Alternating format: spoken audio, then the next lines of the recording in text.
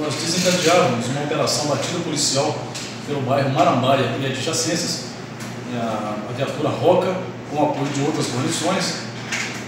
E durante a operação nós recebemos informações através da sala de operações de que três cidadãos teriam recebidos, teriam recebido grande quantidade de droga e ocultado em uma residência na rua Jericó, número 240. Diante de tal informação, nós cercamos o imóvel né, e constatamos em primeiro plano que estava trancado e sem morador. Aí diligenciamos e localizamos a proprietária do, do imóvel, uma senhora de aproximadamente 60 anos de idade, a qual de imediato franqueou a nossa entrada em sua residência e com, durante as buscas nós conseguimos lograr em localizar aproximadamente 26, 25 quilos de maconha, né, totalizado aí 26 tabletes e meio dessa substância.